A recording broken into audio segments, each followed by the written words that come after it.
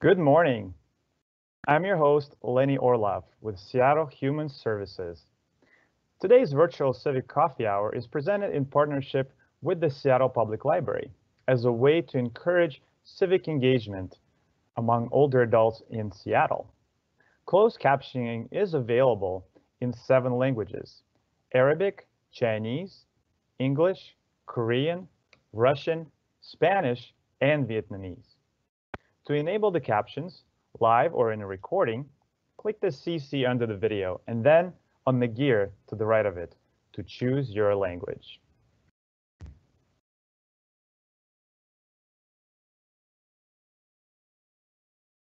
Today on the Civic Coffee Hour, we will hear from Seattle Mayor Jenny Durkan. Following the mayor's remarks, Anthony Derrick, digital advisor in the mayor's office, will collect some of the questions from the online Q&A and present them to Mayor Durkan. We will conclude with additional resources and upcoming events. To introduce Mayor Durkan, let me welcome Jason Johnson, Interim Director of Seattle Human Services. Jason, welcome to the show. Please remember to unmute your microphone. You are live on the Civic Coffee Hour. Great, Lenny. Thank you so much. and uh, special thanks to the Age Friendly Seattle team for making today's coffee hour possible. Uh, good morning, and thanks to all of you for joining us today. Uh, my name is Jason Johnson, and I have the great honor to serve as Director of the Human Services Department for the City of Seattle. It's truly my pleasure to join you today. Uh, the Human Services Department mission is to connect people with resources and solutions during times of need so that we all can live, learn, work, and take part in a strong, healthy, safe, thriving community. It is uh, wonderful to work every day with a dedicated team of human service professionals and also in close partnership uh, with a mayor who a, has a strong commitment to uh, human services and the Human Service Department's goals these civic happy hours, one way that the Human Services Department helps to connect people, have grown each month. And thanks to modern technology, this virtual format uh, has allowed us to offer not only closed captioning in English, but viewers, uh, as Lenny stated, have a choice of six additional languages. Uh, before we get started, I wanted to just offer a special thanks to Seattle Public Library for partnering with the Human Services Department and the Age Friendly Seattle team uh, this year on programs that help older people learn about city programs and services. The library always has been a place people could count on to get answers to questions, including phone, email, and online chat with a librarian, which are especially critical these days while library branches are closed. Library books and materials are available through curbside service and the library offers amazing online resources, including upcoming classes on Medicare. Uh, you can visit spl.org uh, for more information, and thank you again to the Seattle Public Library for your partnership.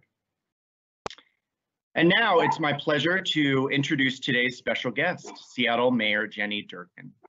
I'm honored to work closely with Mayor Durkan, a true human service champion on important issues across our city that help to prepare youth for success, support affordability and livability, address homelessness, promote public health, uh, community safety, and promote healthy aging through support services for seniors and people living with disabilities. I am especially grateful for her leadership in increasing and targeting investments through the Human Services Department that help change racial disparities in Seattle and support and lift up Black, Indigenous, and people of color across our city and the region. Mayor Durkan was elected the 56th mayor of Seattle in 2017, becoming the city's first female mayor in nearly a century, and only its second openly LGBTQ elected mayor. If we were all able to applaud, I would ask for you to do that now. Please join me in welcoming Mayor Jenny Durkan.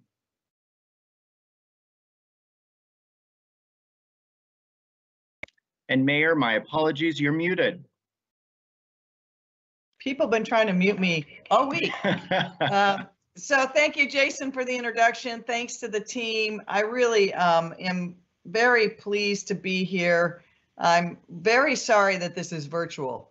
I think one of the hardest thing about this pandemic um, is the way that it has forced so many of us into isolation and broken apart some of those really important civic bonds and, and, and human bonds we have with one another. So know that I am I am drinking my coffee with you, but cannot wait and can actually meet in the same room together.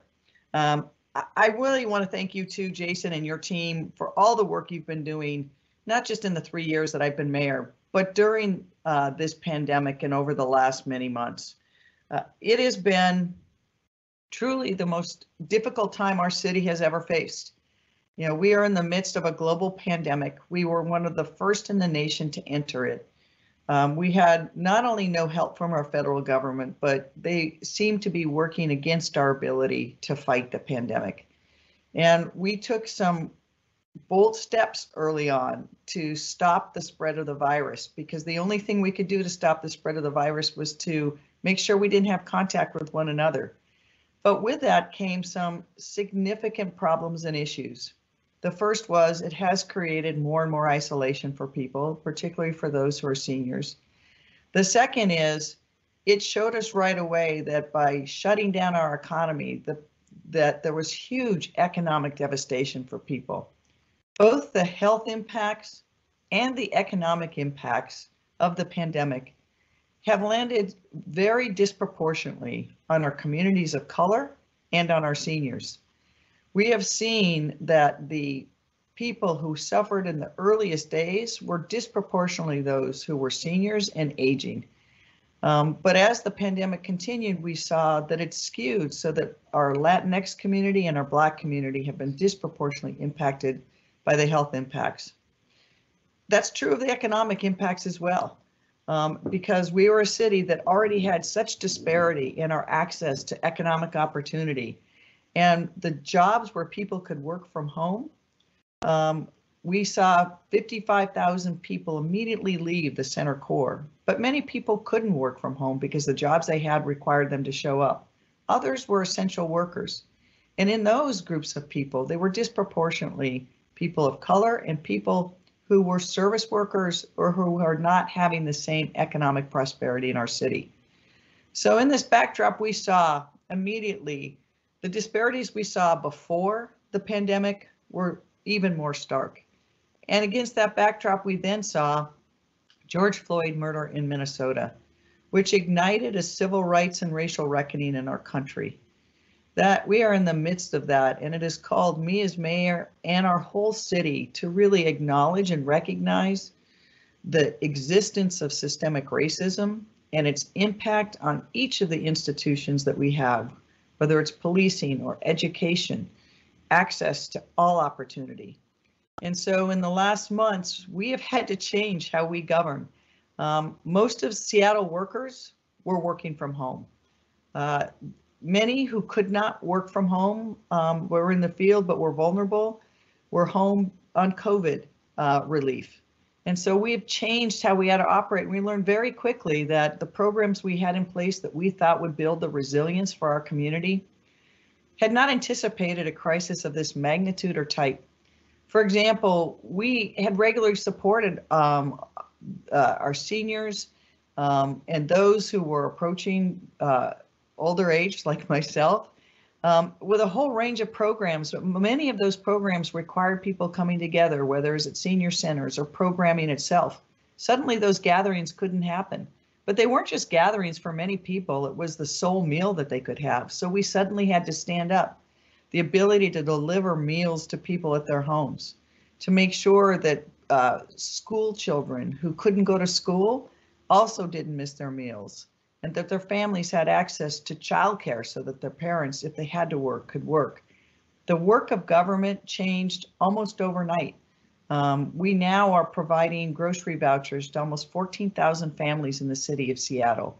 Uh, we have city workers who have helped man food banks. We've had to change the whole way we deliver services to get us through this pandemic because your lives have changed. How you interact with one another, your daily lives, your access to everything from medical appointments to meetings with families. Everyone's lives have changed in the last nine months. We will come out of this. It will take some time. Um, best estimates are we will be living with pandemic restrictions at least through the middle of next year, if not through all of next year. That requires us as a society to take a lot of steps that we hadn't anticipated, not just to get through it, but as we get through it and prepare to come out of it, to make sure when we come out of it, we really change structurally those systems that were inequitable so that we can come back stronger, more just, and more equitable. It will take work from all of us.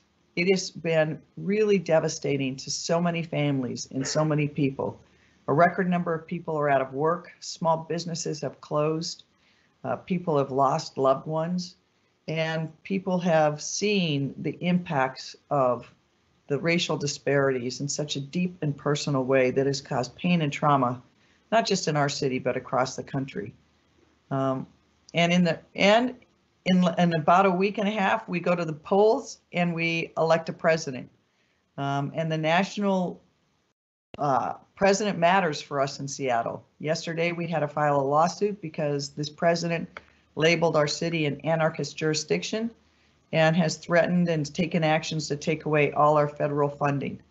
Um, that would be everything from programs that that Age Friendly Seattle relies on to the COVID relief funding to transportation dollars. Uh, we will fight it. I think we will prevail, but it just shows that in this challenging time um, that we must come together to really look forward to not just the city we are today, but the city that we must become as we come out of COVID. Uh, thank you very much for taking the time. I'm going to take a sip of my coffee now. Thank you, Mayor. Uh, this is Anthony Derrick. I'm the Mayor's digital advisor, and I'll be moderating today's Q&A. Uh, so thanks again, Mayor, for those really wonderful opening remarks. Uh, as a reminder to everyone who's joining us this morning, if you have a question, please go ahead and enter it into the Q&A. We've got only a few uh, at this point. We'd love to see more, and it would be really great if you could put your name so we can uh, address you by name. Um, so first question we have this morning is about the city's uh, budget due to the COVID-19 crisis. Mayor, from Teresa, she would like to know, how are you going to balance priorities in the upcoming budget due to the shortfalls uh, that we've seen with COVID-19?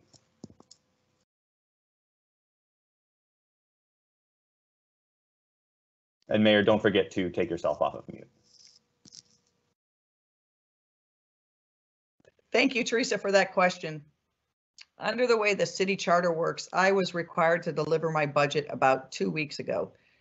Um, under our the state law, our budget has to be balanced. We we can only spend the amounts that we project that we will take in in revenues next year.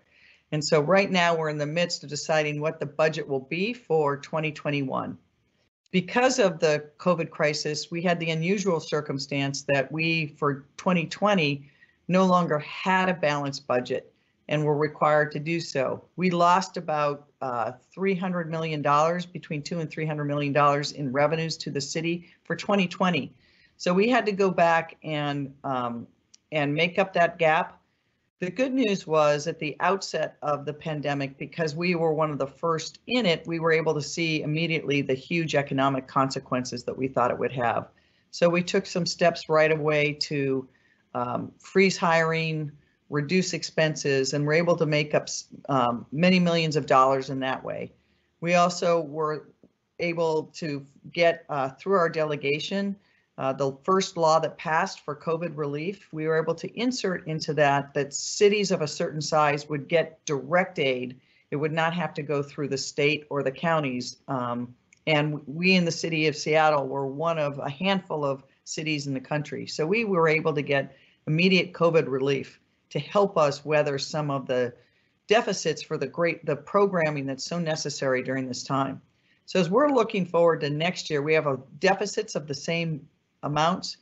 And going in, my values and principles were clear. Number one is the essential COVID relief we were giving to, to people and small businesses and individuals. We would try to continue and not cut that programs. We, it's more important than ever to be able to provide some of those safety net programs and programs that give housing stability, food stability, and the like. Second, I wanted to make sure that we recognize that what that I believe true community safety comes not from police. It comes from having strong, resilient, and vibrant communities. And our communities of color in Seattle have been not just left behind, but left out um, and purposely by some of the institutions that have been designed over generations. We know that we need to, for example, invest more in healthcare, access to employment, access to affordable housing, access to education justice. And by every one of those metrics, our community of color, particularly our Black community, Indigenous community, fall, have fallen behind. And so I pledged that we would spend at least $100 million in investments like that. But those investments would be guided by community. And so I announced a community task force made up of leaders from throughout the city of Seattle from uh, organizations and individuals very tied to the communities of color in the Black community and the Indigenous community. They will be doing the community engagement to work with community on determining what are the priorities for those investments. I also have asked a variety of options so that we can make that kind of investment on a long-term basis over 10 years at least. And I think it is through that kind of budgeting that we are in a down cycle. It is the time now to invest in equity because otherwise, when we come out of this COVID economic crisis and health crisis, it will take years to recover and it will take even longer if we don't build those building blocks now. So we're investing things also like green and healthy streets. I believe coming out of this, we can come back better for the climate so we have did a range of priorities to number one, invest in people. Number two, to position us as a city to be more green and more accountable. Thank you, Mayor. Uh, our next question today comes from Joe, and Joe asks, how is the city planning to provide services previously provided by the transition team and the navigation team? Um, Joe notes that the need has not gone away and asks, uh, what do you think we can do at this point to, to address this, this need? So Joe, thank you for that question. It's a great question. Um, I may have a better answer next week because we've been um, having ongoing discussions and negotiations with the city council on what we could do to replace these resources.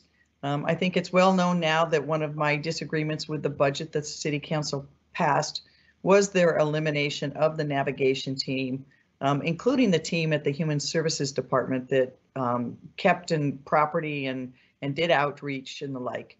Um, we have not just the need continues, but the need is growing, and we have to have the resources to deal with these issues, the, the huge impacts that um, that some of the encampments have on the people living in the encampments, as well as the impacts on community.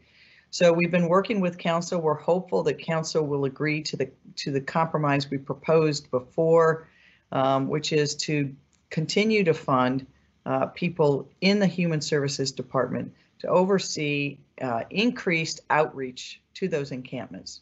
We will still be working with and discussing with them how we increase the amount of shelter capacity available to bring more people inside and what we can do to accelerate the building of housing itself, including permanent supportive housing. I'm really excited that we have a project coming in line that will be one of the, you know, one of the problems we've had is that each individual unit of affordable housing costs around $325,000 to build. And if it's permanent supportive housing, um, as much as $20,000 a year for services and maintenance. Um, and it takes about two to three years to build. Uh, we can't scale that as a city to meet the demand. So we have our first project coming in line that is using new building techniques to bring it on less expensively and more quickly. Um, and we're looking at all options across the region to see how we can bring more people inside. Thank you, Mayor, and thank you, Joe, for that question. Um, our next question is from an anonymous uh, anonymous question asker and they would like to know um, what assistance is available for paying property taxes. And they note that um, with the rise of property uh, property values and stagnant incomes, um, they want to know have income requirements been updated or what other assistance could be available. So that's a, a good question, and it was one that had come in uh, earlier this month um, because of when property taxes are due. As you know, the, the property taxes themselves are levied at the county level um, by the assessor and the county government and controlled by the state. But we've been working with them to see if there's programs. They delayed the payment of the March payments that were due. And I think there's ongoing discussions for the October payments and when they're due. Um, that would have to be centered at the county. Uh, to my knowledge, there's not yet been a fund created for payment of property taxes. Uh, the governor is working on a, a, a, program for mortgage payment, but the issue on property tax is a very good one. If you could email us at jenny.durkan at seattle.gov and remind us, we'll get more information on that and send you a response. Thank you very much, Mayor. Our next question, also from an anonymous question asker. Um, Mayor, with the uh, creation of a regional authority for homelessness in our in our region, how can we better track and share progress to a stated goal regarding our homelessness crisis in our region? So that is um, that question goes to the core of I think why a regional homeless authority is so important. Um, I think all of us on this call know that the issues that have uh, related to people living unhoused don't stop at any city border. We have more and more people who've fallen into homelessness, despite the fact that we are spending uh, this year alone twice as much as last year, and I almost doubled the spending on that before. Um, we had some successes before the pandemic. We were moving um, more people into long-term housing than before. We had shifted our shelter system from mats on the floor to enhanced shelters that really provided uh, more support services available 24 7 and things like that. But it is very uneven. Uh, we have seen that the city of Seattle is shouldering most of the burden, financial burden, um, and services burden in King County. Um, only about 50% based on some of the data we've seen of the people that city of Seattle serves of uh, people experiencing homelessness actually living in Seattle when they became homeless. A number of those, a significant portion, were living in other cities in King County and Washington State. So we have to track as a region and as a state. We need a system that requires every city um, under the Growth Management Act or other tools, not only to have density, but to ensure that they have adequate affordable housing in their communities and adequate services for people experiencing homelessness so that people can be served in the communities that they live. And this will only happen, I believe, through a regional authority and through greater uh, accountability at the state level and tracking. One of the things that we will be doing in the new regional authority is they will be adopting a strategic plan. The public will have input into that that does exactly what you said.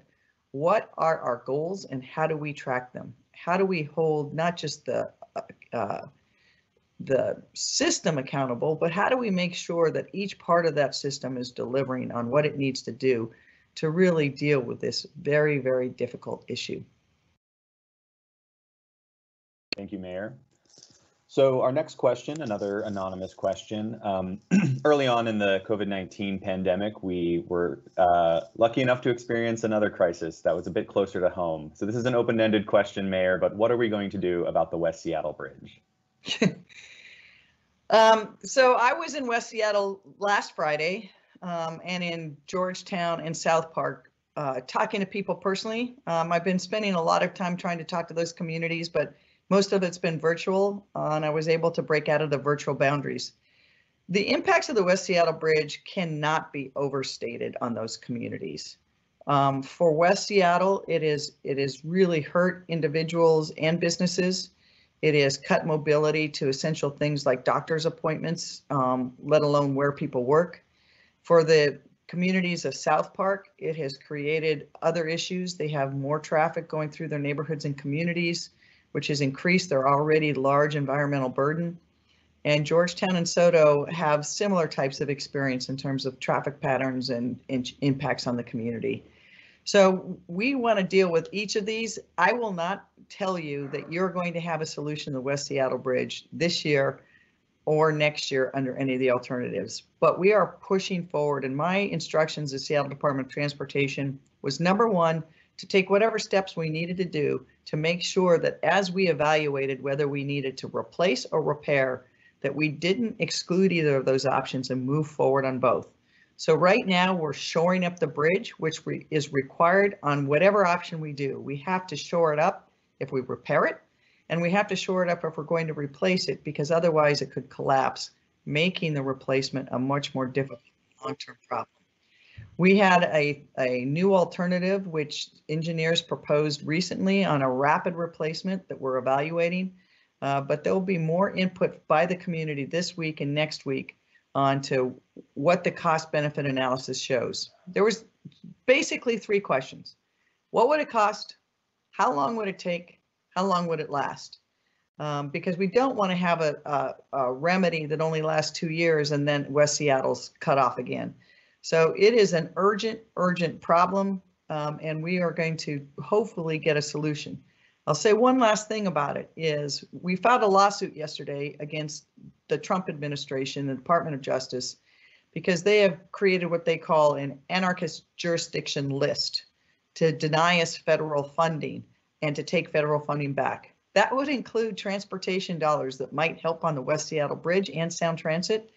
So we one reason that we felt it was urgent to, to take that action, which I think we will prevail on, was to make sure that we don't fall behind on so many of the critical things we need to do and get the federal funding that that isn't a gift to us. It's been appropriated by Congress and it's taxpayer dollars that people in Seattle have paid.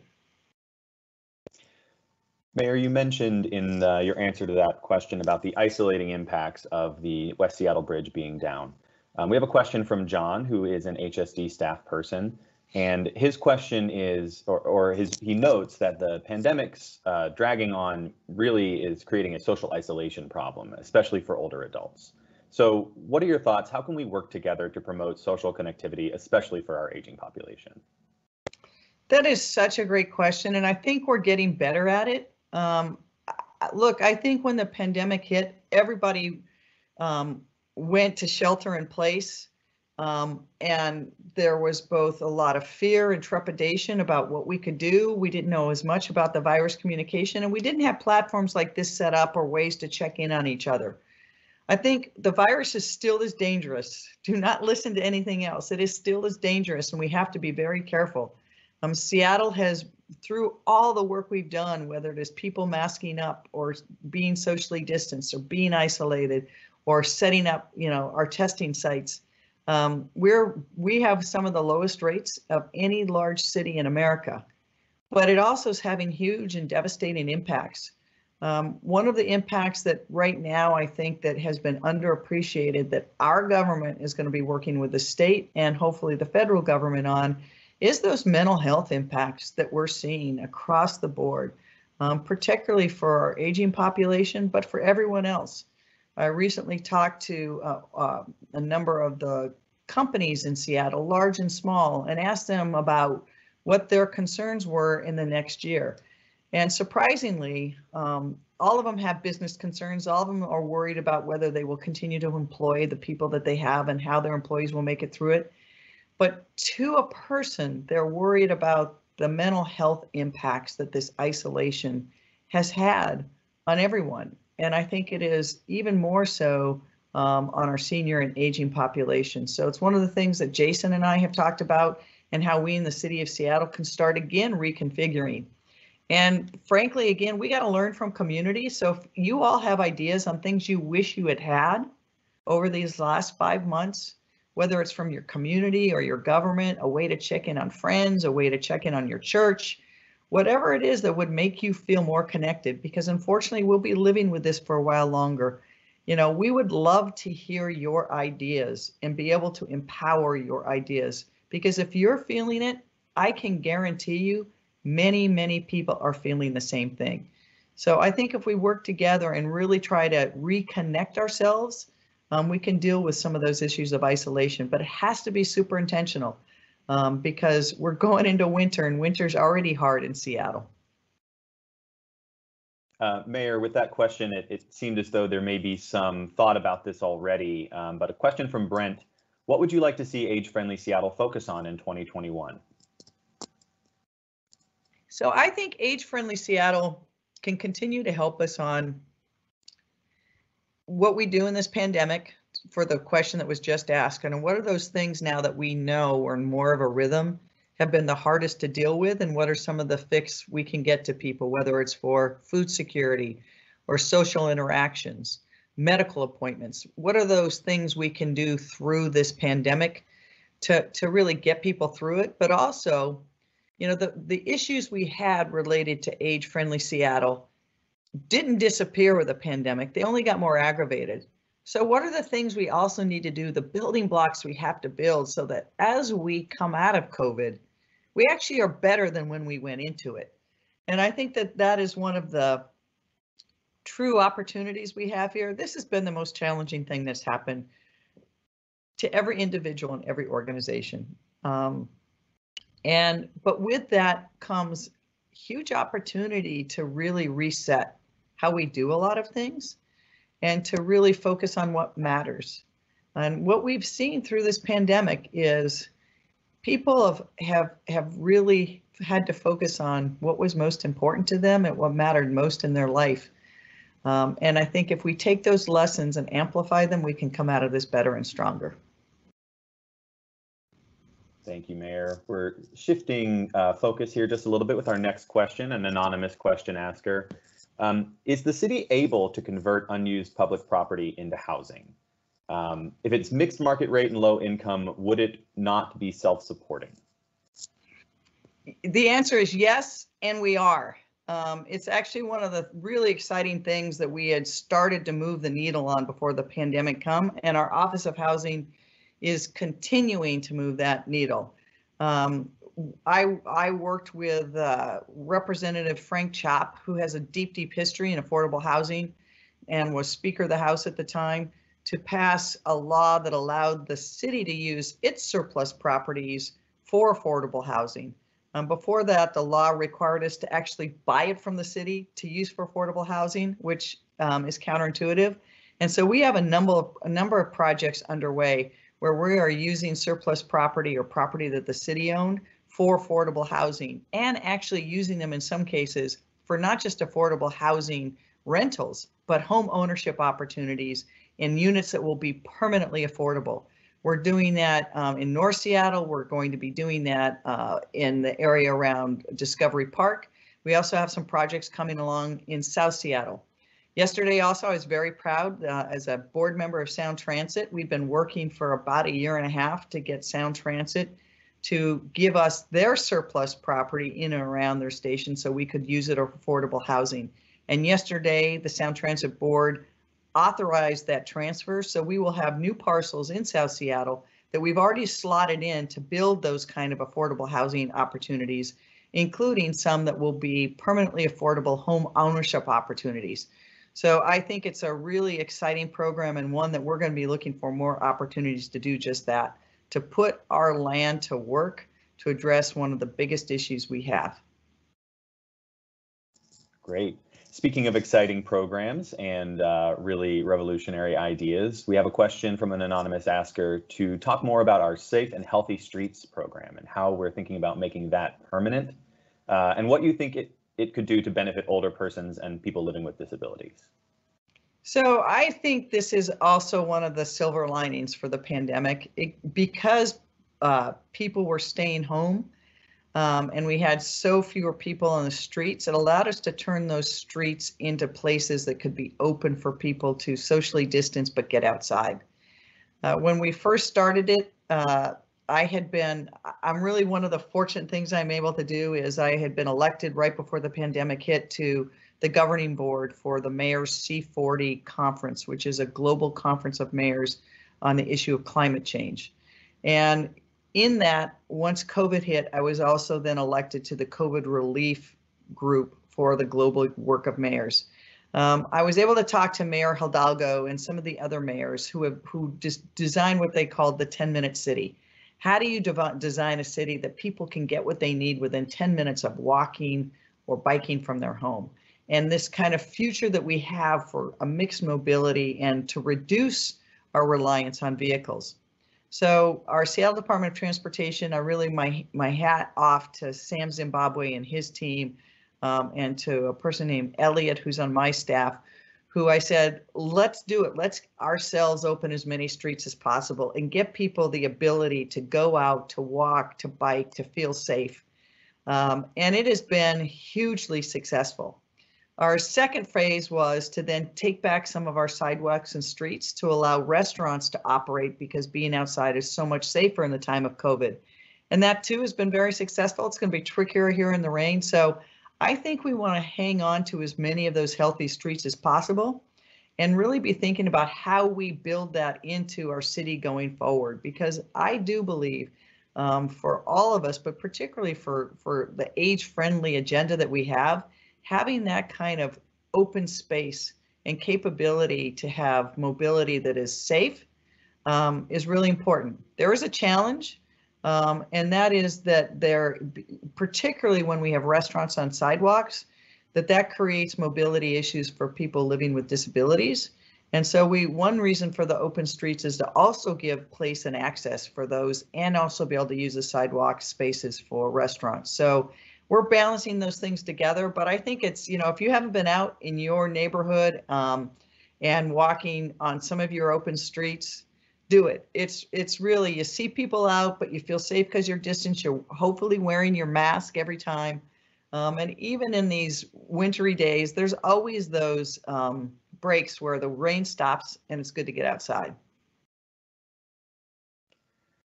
Great, thank you, Mayor. Uh, and so far on today's call, we've had some questions about homelessness, about our infrastructure, um, about what we're going to do to, to help get more of our, our community inside. But now we're going to go to a really tough question from Sarah.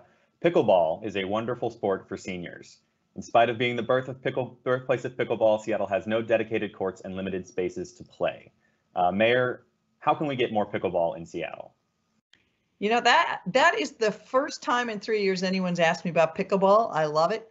Um, I will talk to our parks people. I will tell you I'm not good at pickleball. Um, I hit it too far and too hard, which probably is not a surprise to anybody, and have a hard time staying in the court. Um, but it is a great game, and it's uh, let's find out about it. Whether we can have some pop-up pickleball courts. Great, thank you, Mayor. Um, we are reaching the end of the questions we have published today, so I'm going to encourage more people to send. We have about five to 10 more minutes to ask a few more questions. Um, uh, I see another one popping up. Thank you so much for submitting that. Mayor, this question is from an anonymous asker. What do you think it will take for folks to regain trust in government at every level, the local, state, and especially the national level? Um, I think I think it's going to be hard. Um, first, I think the national government, uh, that regaining trust um, means that you have a government that's actually working for the people. And we haven't seen that in the last four years, I think, in my personal view. And so I think that having a government that is focused not on sowing division, but on bringing people and uniting us on our common aspirations, our common dreams, and our common goals for our country is what needs to happen.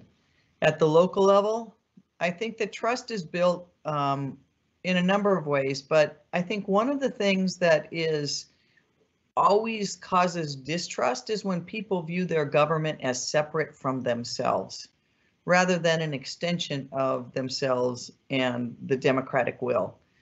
I think that we will never be in a place in this region um, for for a period of time that any of the problems and challenges we have will be fixed by government. Um, it's going to take all of us and it's going to take individual action. And for us to have trust in government, we have to have trust in each other and trust in our abilities to work together to solve big challenges.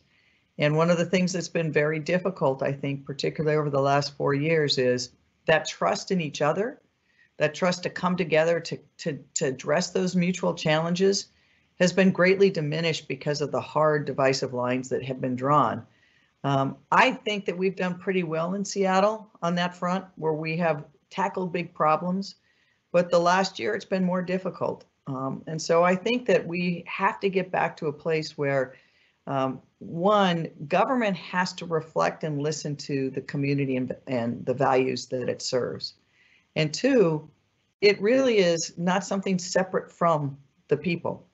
Um, ultimately, the most good that's done in any community, I believe, comes from the community and is done by the community. And then it is that shared work together that really moves a society forward. So I think that trust gets restored when we can start, I think, again, to be in rooms together, to build trust together, and to find those things that there really is common aspirations um, to meet the common challenges. Thank you, Mayor. Um, question from uh, an anonymous question asker. Uh, feels it sometimes feels like aging population is left out of city planning. Uh, the example that they give is um, SDOT and a focus on bike lanes. Um, you can reply directly to that, Mayor, but I think it would be nice for to hear more generally on um, what you think the, the city can do to make the aging population feel as though it is brought into these conversations and that uh, we are looking out for them when we make decisions. So I, I think that it is true to a certain extent. Um, and you know, it was, I think, a difficult thing for city. City grew so rapidly, and much of the growth and much of the planning was done to serve the folks who were adding to the growth. So it was the people moving here for the new jobs and the new companies that were being created, and it was stimulating all this growth. But at the same time, the population, the aging population who'd been living here, who moved here, um, had different needs, uh, everything from mobility to services. And so working with Jason's team, we've been really trying to focus on what are those things that we know were problems. Take the issue of mobility. Um, we've spent a lot of time and money working on, you know, building out more transit. And we, before the pandemic, had done a really remarkable job in our city and our region. We were one of the only large cities in America where transit use was increasing, not decreasing. But that transit isn't always friendly to the aging population, both because of the accessibility of buses, where the routes were, whether you could get to the routes.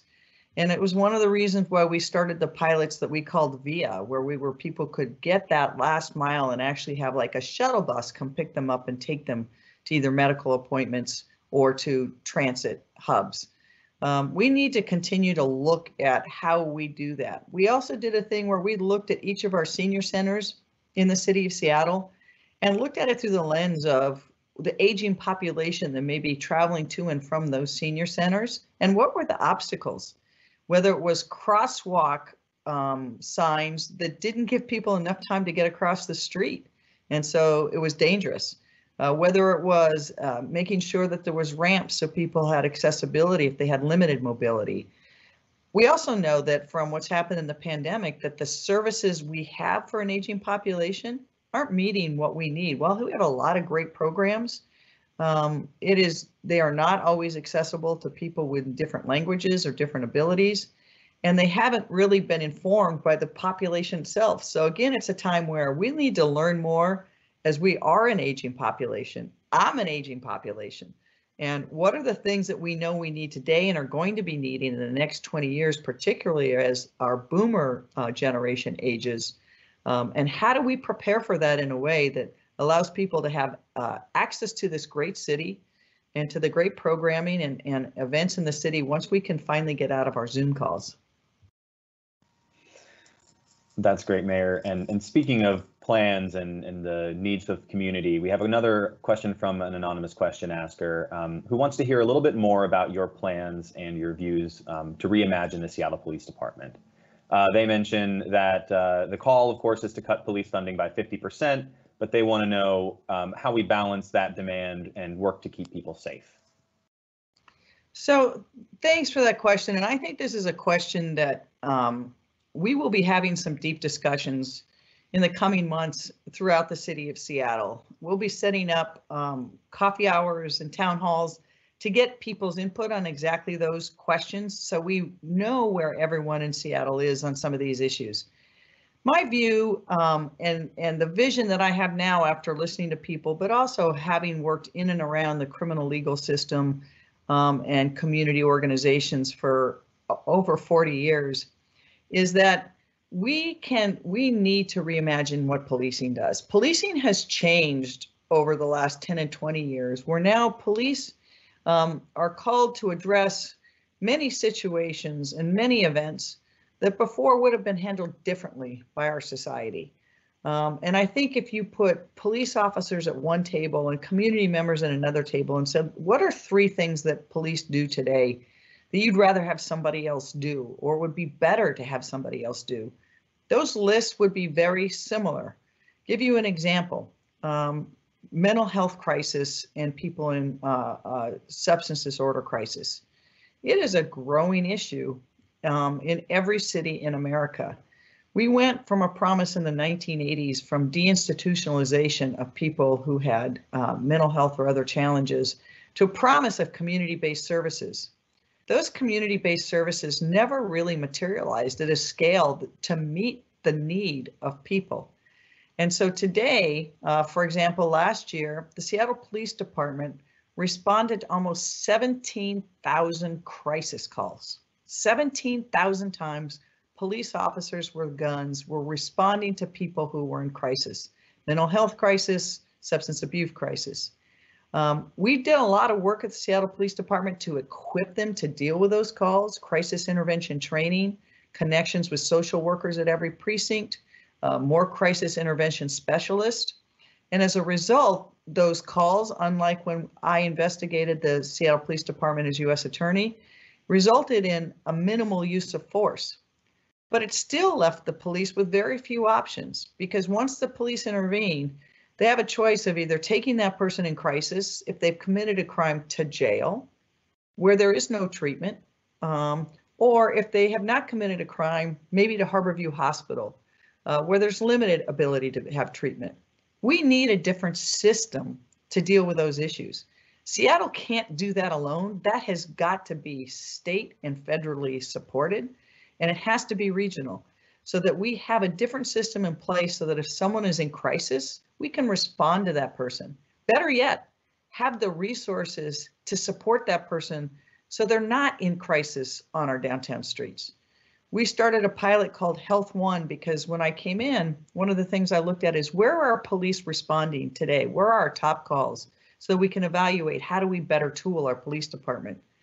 I, I will admit I was surprised. The top five places where police were called, the majority of them were our shelters, some of our larger shelters. That the police were responding and fire were responding because people were in crisis um, and committing sometimes acts of violence. It makes no sense to have that as the front response. So we created a, a program called Health One, which is a trained medic and a social worker, kind of like uh, Medic One was for heart attacks. We thought this could be the solution for some of the low acuity calls. Um, and instead of police responding to one of those calls, Health One can respond. They can take the time instead of just either taking someone to jail or the hospital, they can find out what they need. Are they off their medications? Do they need their medications? Do they have a caseworker they need? Is their family? Do they need to go to the hospital? It's been enormously successful and we're now, hopefully, if my budget's adopted, we will scale that program to add more. Um, but it also takes resources, time, and training. And so as we reimagine policing, we have to have something to fill those vacuums and build those community-based solutions.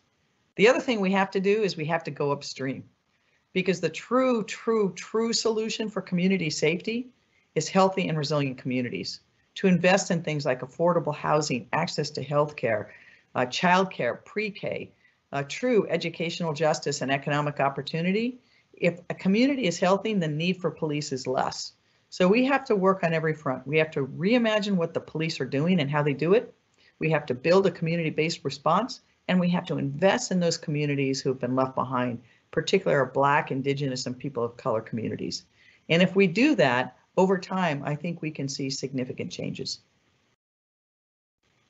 Thank you very much, Mayor. Um, we are reaching the end of our time here with Q&A. So uh, I want to say thank you, Mayor. I want to say thank you to everybody who submitted a question. We have lots of really great questions that just came into the chat, and it's unfortunate that we, we can't get to them all. Um, but I think uh, the best thing to do at this point would be to, to put a pin in it, Mayor. If you want to say anything else about our uh, plan for reopening, uh, leave uh, with some thoughts on on what you envision the city to look like in the future um, as we as we come out of this COVID-19 crisis. So, I, it's a let me tell you a little bit about what my vision was before the pandemic hit because it still guides what my vision is, though it is going to be more challenging for us. When I came in as mayor, in some ways, Seattle was the envy of all of America. We had some of the um, highest number of technology jobs. Some of the greatest companies in the world were founded here and started here and thrived here. We had uh, we were the fastest growing city in America with the highest wages paid in almost any city in America but two. At the same time, that prosperity was not being shared. Um, we were in the midst of what I described then as a time that was more transformative than the Industrial Revolution, where the technology and innovation economy was quickly displacing the other economy without having the ladders and access from the prior economy to the new economy. And clearly the people being left behind were the mostly our communities of color. And you could almost draw a line north to south in Seattle and see the stark differences. Um, and so we worked really hard to say, how do we build that bridge to the new economy? It's one reason why having free college was so important to me as mayor and instituting that program so that every kid in Seattle would have that opportunity to get a leg up and then to pair that with internships and jobs paid for so that people had access. But that is only if you graduate from college. So we also had to work, how do we help the Seattle Public Schools to really close the opportunity gap, particularly for our students of color? And how do we get quality pre-K so kids are showing up ready to learn in kindergarten? We started those programs as well as announcing uh, unprecedented amounts of affordable housing, $1.5 billion in affordable housing. I've had the great honor to announce as being mayor. And new investments in things like Africatown, the Ethiopian Community Center, the Filipino Community Center, trying to build that community resilience. Um, but then the pandemic hit, and what it showed just even more starkly were those disparities.